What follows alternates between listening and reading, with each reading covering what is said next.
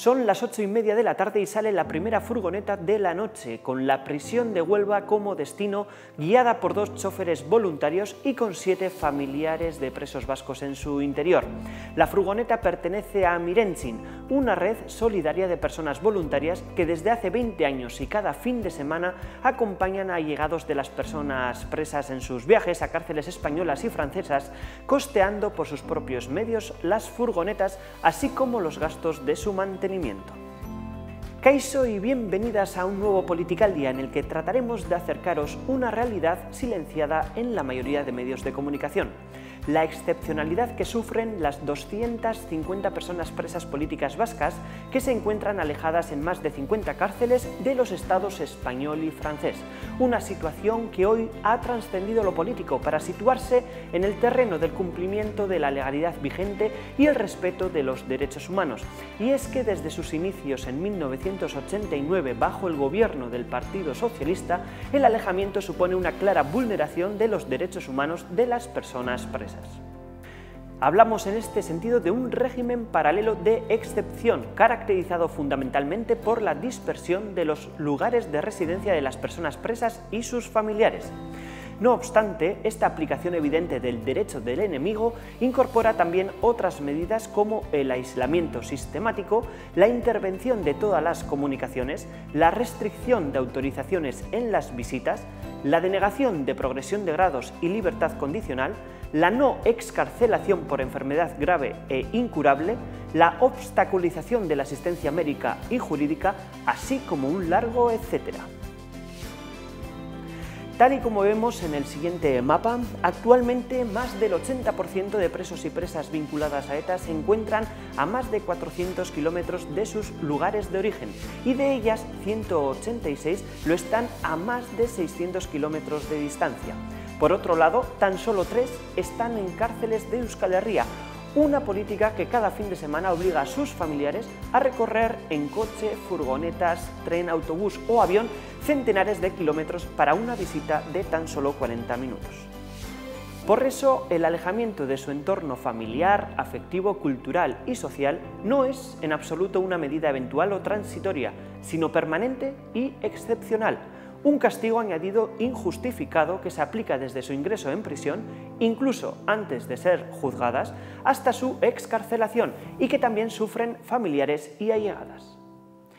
Y es que las restricciones y condiciones forzosas derivadas de la situación de alejamiento vulnera el derecho a la vida familiar. Las dificultades, los gastos y el riesgo obstaculizan, dificultan y llegan a impedir las visitas y comunicaciones con sus familiares.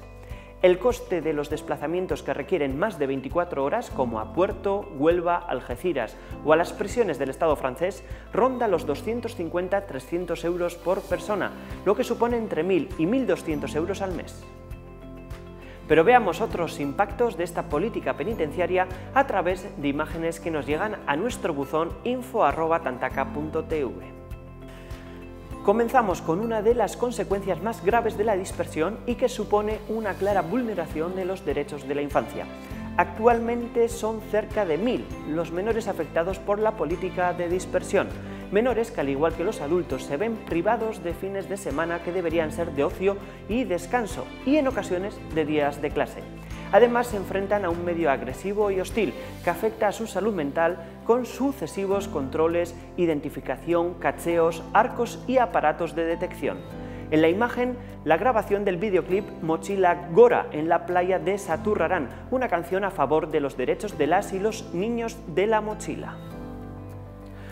Otra realidad que sufren las allegadas es que el 98% de los padres y madres de las presas y presos han cumplido ya los 60 años, cargando además con el peso de entre 10 y 30 años de viajes forzosos y continuos que agravan las enfermedades de estas personas mayores hasta poner en peligro su vida.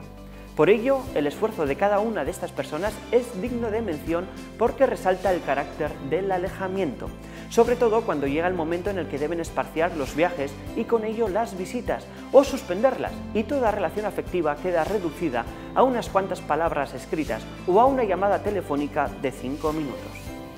El viaje a las cárceles también supone un riesgo añadido para sus allegados, Los desplazamientos están condicionados por los horarios de las visitas, obligando a realizar esos viajes en condiciones de riesgo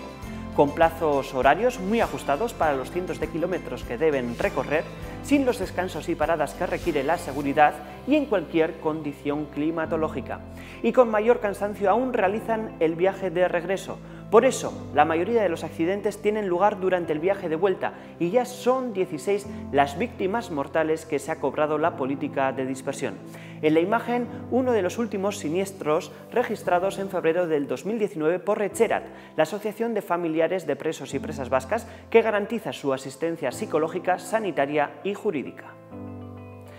Y en esta última imagen vemos la manifestación que recorrió las calles de Bilbao el pasado mes de enero, que aglutinó a más de 70.000 personas reclamando un cambio en la política penitenciaria. Una manifestación anual organizada por SARE, una red ciudadana que trabaja a favor de los derechos humanos de todas las personas presas, huidas y deportadas vascas.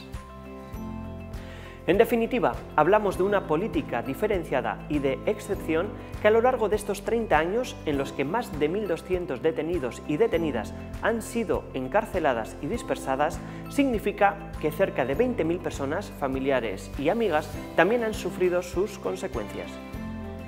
Estas medidas excepcionales no se corresponden ni mucho menos con la realidad política y social que vivimos hoy en Euskal Herria. Decenas de iniciativas ciudadanas tratan de impulsar un proceso de paz que resuelva todas las consecuencias del conflicto que ha sufrido este país.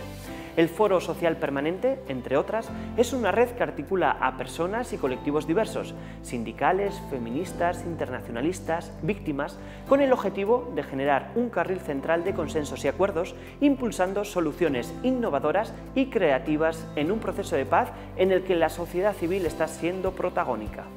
Hace dos años hubiese sido imposible pensar que hoy estaríamos en un escenario en el que ETA es ya una organización desarmada y disuelta, o en el que se están fraguando acuerdos transversales en materia de presos y presas vascas, tanto en lo social como por la mayoría de partidos políticos en los parlamentos vasco y navarro, con el objetivo de poner fin a las políticas penitenciarias como el alejamiento o la situación de las personas presas gravemente enfermas.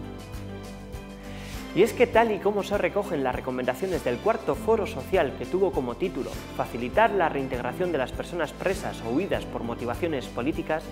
es urgente desactivar las medidas de política penitenciaria que contravienen derechos humanos fundamentales, van en contra del tratamiento humanitario de las personas presas y son contrarias a los estándares internacionales, así como poner fin a la excepcionalidad penitenciaria para compresas y presos por delitos de motivación política.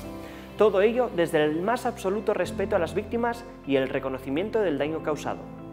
Porque solo a través de la legalidad ordinaria previamente existente se garantizará la reintegración plena, económica, laboral, sanitaria, social y política de todas las personas presas, huidas y deportadas, sentando las bases para una convivencia democrática y una paz duradera en nuestro país.